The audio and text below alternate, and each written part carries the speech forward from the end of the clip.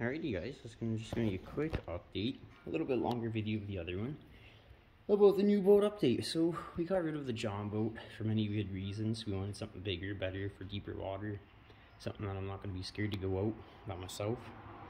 We're also gonna be doing some guiding next summer, so we picked up, I believe it's a 2010 Tracker Guide B12, in fairly good shape. Um, pretty much a basic model, so I think the guy mounted a piece of plywood for front trolling. It's got two seats.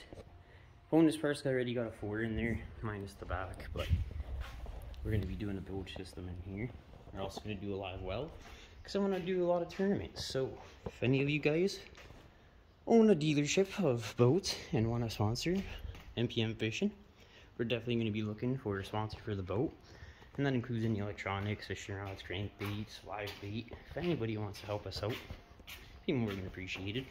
Uh, we're probably going to go with the 9.9, just because the 3.5 is a bit too small for this guy. Yeah, figured to give you guys the one quick up build update video, and then we'll see what she looks like in a couple weeks.